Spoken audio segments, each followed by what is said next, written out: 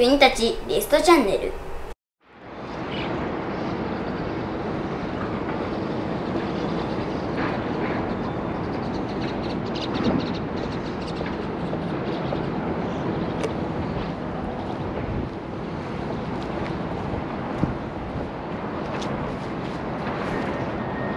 こんにちは。国立リストの松島です、えーご覧ください。あれがリストの工場の前景になります。えーっとよくお客様からリストっていう社名の由来は何というふうに聞かれるんですけども、えーリストの社名の由来は英語でリコンストラクション。リコンストラクションを略してリストと名付けております。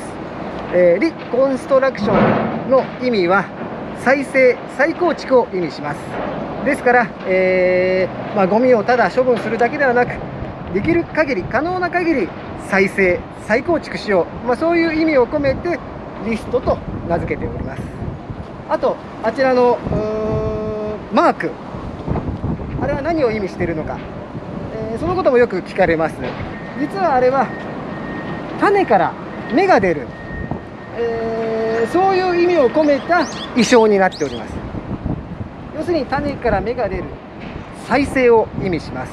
ですからリストというのはただ単に、えーゴミを処分するんではなくてできるだけ再生可能なものは再生しよう。そういう意味を込めて、えー設立された、会社です。ですから私ども従業員も極力再生できるものは再生に回そうと頑張って行っております。なおかつあの外観、えー一見してあそこに焼却炉があるというふうにわからないと思います。実はやはり、あのー焼却炉がむき出しですと非常にあの景観が悪くなりますので、えー国立市は非常に、あの景観の意識の高い町ですので極力いかにも焼却炉がありますということを見せないように焼却炉を覆って緑豊かな国立市にマッチするようなそのような外観で、えーこの工場を設立いたしました、まあ、以上があのリストの社名マークそして設立の由来になります。